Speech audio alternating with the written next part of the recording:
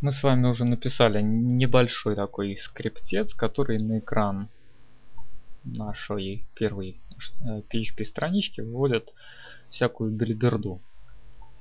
Пока это все в неупорядоченном виде, да, э, в следующих уроках мы с вами будем писать более осмысленные скрипты, которые будут делать какие-то действия. Ну а пока э, давайте я вам покажу, как оформлять свои скрипты изнутри. Допустим, вы пишете какой-то скрипт, у вас имеет очень много каких-то строк. То есть вы даже там, когда со временем будете возвращаться э, к своему скрипту, вам надо будет э, заново вспоминать, что вы там в нем делали. Так вот, чтобы немножко ускорить этот процесс, то есть когда вы в следующий раз будете смотреть на свой скрипт, чтобы вы э, быстрее вспоминали, что вы хотели этим скриптом сказать, что вы хотели в нем сделать, э, можно оставлять такие примечания текстовые, да, то есть пояснения, как говорится. Пояснение в PHP делают следующим образом. Самое простое, очень часто программисты используют, особенно начинающие э, профессионалы вряд ли вообще используют такое. Примечание начинается с двух слэшей, после которых можно писать абсолютно любой текст. Например, определяю переменные. Определяю переменные, то есть эта часть текст она не, не будет выполняться. Она выделяется желтеньким цветом.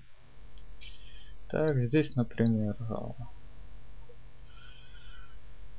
мы что делаем? Вывожу переменную. Так, вывожу пере... переменные. Дальше, что мы учились делать? Складываю переменные.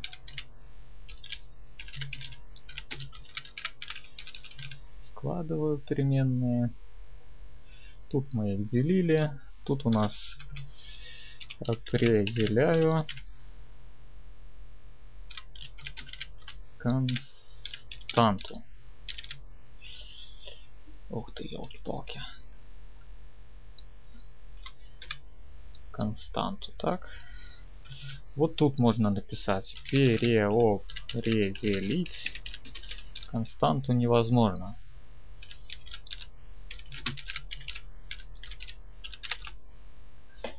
И восклицательный знак, да.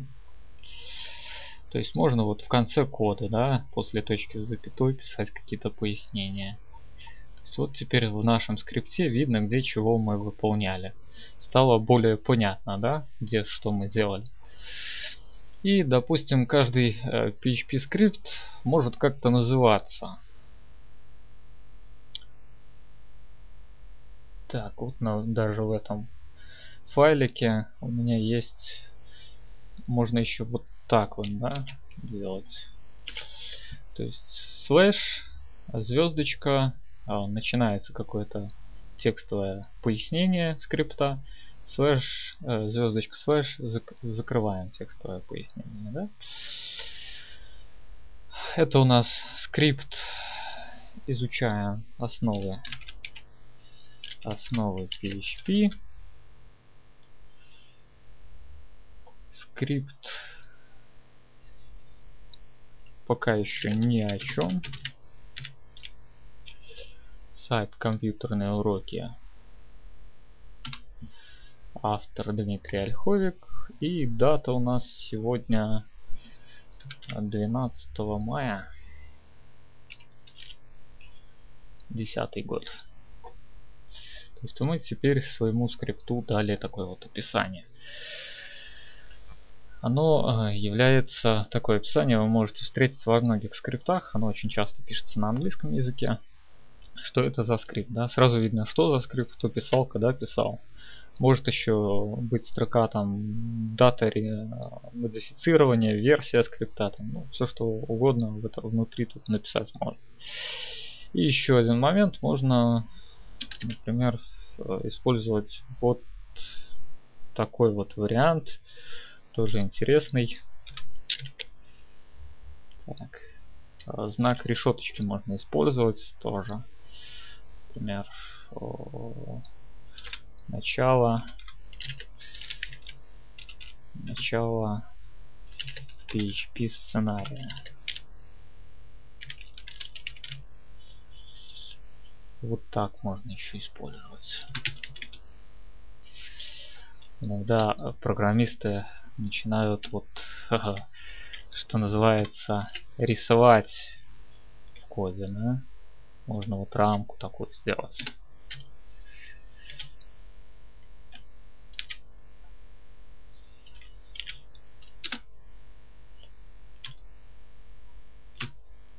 Тоже очень интересное оформление скриптов. Но это, естественно, если вы там скрипт на, как, на продажу будете делать или еще для каких-то целей. Если кто-то будет а, смотреть в код вашего а, скрипта, то вот он может увидеть такие красивые рамочки, да, в которых написано, а, кто разработчик, что за скрипт, где начинается сценарий или там настройки какие-то, еще что-то, да. Вот примеры оформления я вам привел, да, всевозможные примечания в PHP коде можно отображать. Естественно, все это дело, а, то, что у нас сейчас желтеньким цветом выделено, оно в браузере не, никак не отображается. Да? То есть даже исходный код можете посмотреть, этих примечаний нигде вы не найдете. Так, с этим понятно. Ну что ж, переходим к более сложным урокам.